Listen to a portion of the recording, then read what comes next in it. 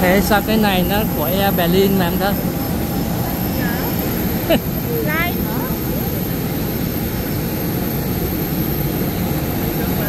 Dạ. dạ. dạ.